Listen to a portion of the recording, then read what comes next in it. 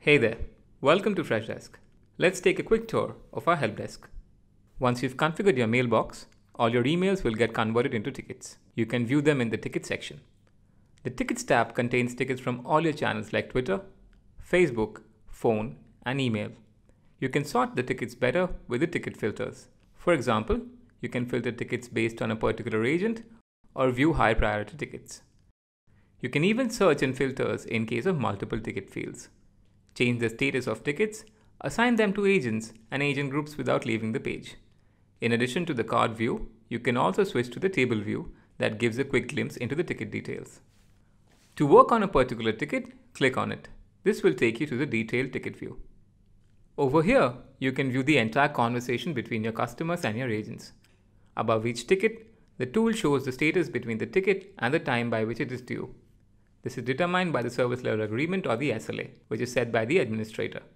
You can categorize ticket with tags of your choice. You can reply, add a note, forward, and discuss through Team Huddle with your fellow agents. Add and edit ticket properties in the Properties section. The context pane shows ticket relevant information, such as data from the CRMs, previous tickets, time logs, and other custom apps. The Jump to Ticket button opens a quick view of the tickets list. Use navigation controls to move to your next ticket from this view. Alternatively, hovering over the ticket subject gives a preview of the ticket. Send quick replies or add private internal notes from the preview. The dashboard is designed to give you a bird's eye view into the health of your help desk. The ticket trends graph reports hourly ticket volumes. The dashboard also provides key metrics like the number of tickets resolved, average response time, and SLA maintenance. Admins can view ticket metrics for specific products and agents group on Freshdesk. Agents can easily create tickets, contacts, and companies from the new button on the top bar, which is accessible from all the pages inside the help desk. The powerful search function can bring results from different sections of the help desk like tickets, contacts, solution articles, and forums. With this, you can start running a basic help desk on your own. As more tickets start coming into your help desk, the rest of your team can hop on to help manage customer service.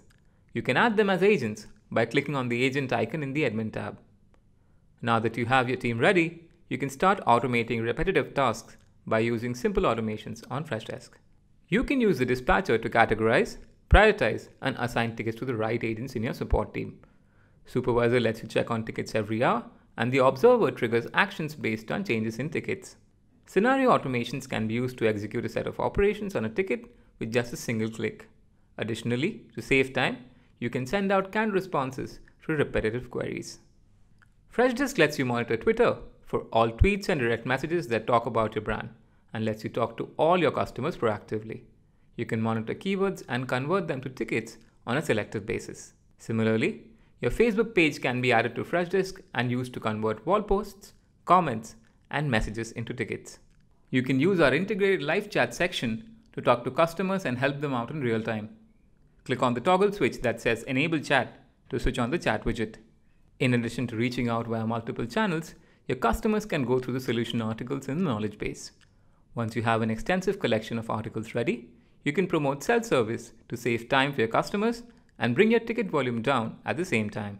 All the knowledge base articles get indexed automatically and will be recommended to your customers when they try to create a ticket in your support portal. Finally, you can set up community forums to give a platform to your customers to share ideas and give feedback. It's an integrated part of your support and lets you have all relevant conversations taking place on your own turf. Forums are always a great way to engage your customers and enable them to help each other with valuable tips. They can also be used to keep your customers updated to let them know of the latest capabilities and features. We hope this walkthrough has been valuable to you. Thank you for your time.